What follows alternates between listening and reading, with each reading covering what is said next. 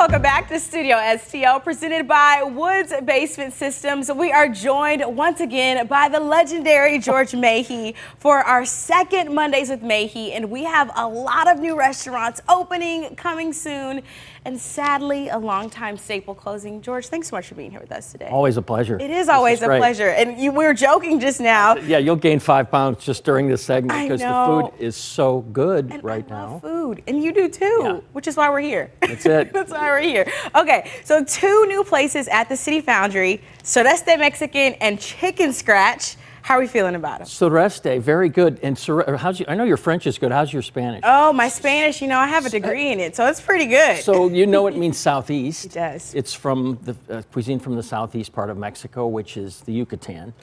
And what's interesting about it is it's Mexican cuisine, but if you take a look at some of the items, they look like it's gourmet Mexican. And in fact, it's a street food from, from the Yucatan. And uh, it's just done in a different way. Um, there's some uh, great pork dishes, interesting things with mole. They get whole fish in to do different kinds of ceviche with.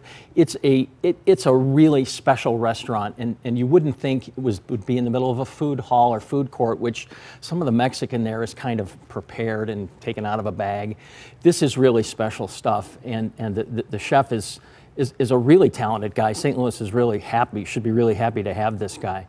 And, uh, you know, everything's made from scratch. It's True, authentic. It, it's just it's just amazing, and and uh, I I hope that uh, you know people catch on and and want to try some new things because it is a little bit different.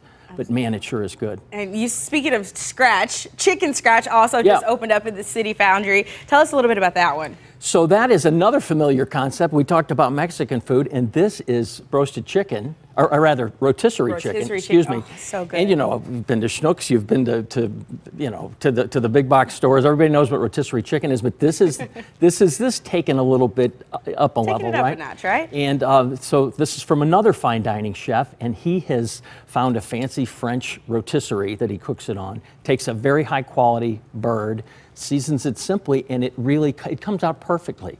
And it's like, well, why? What makes it so good? Well. These, these better chickens taste more like chicken. I always say that's the best way to describe it. You can get all the flavor. It, it, all the flavor. it just tastes it just tastes better. So they've got uh, uh, uh, rotisserie chickens in, in different half whole and, and quarter uh, portions. Really really good side dishes. They've got a chicken dip, which is like a French dip with chicken with chicken jus. I love I love a good chicken. I just like to say jus. chicken jus, chicken jus. well, the new Hi-Pointe Drive-In in Kirkwood is also coming very soon. You- No, it's here. It's here. It's here. It's, it's arrived. This is the third Hi-Pointe, right? And you know, the first time I had a Hi-Pointe burger, I was just like this, and they use a proprietary, uh, you know, type of beef, and it's just so good. And I remember the juices dripping down my. Oh, I just George, remember saying, my mouth water. "This is a darn good." I didn't say darn. This is a really good burger. and again, this is the Hi-Pointe. Does it several different ways. I've Uh, never had Hi-Pointe. you so got to go. I have to go. This is their new location, and and the best part about it is they've always got something crazy with the decor. And this one has a 1972 Shasta camper that's cool protruding that? from the side of the building, and that's all. But you can hang out in the camper while you eat, and it's just it's worth it going in just to see this crazy thing that they did. Well, it looks really cool. And then the kimchi guys also opened up their second location near Wash U. Yeah, it's really, really good chicken. This is this is marinated, broasted, broasted at two temperatures, and then sauced with four different sauces. And that's kind of geeky, but the bottom line is, when I was there the other night, there was a lot of claims that these are the best wings ever.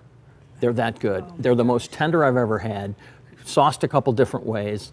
It's just really good. And again, it's simple things, but they've figured out a better way to do it. So many goodies. And really quickly, we're running out of time here. no. um, I know, but you have so much good stuff. Okay, so if people want to subscribe, where can they find your work? stlmag.com, right? And this is the old, uh, this is the old, this is the, the October issue. This is the really good one because it's got all the, I'm going to leave one of these with you. Oh, I'm excited. This is the best new restaurants issue. This is the November one coming out.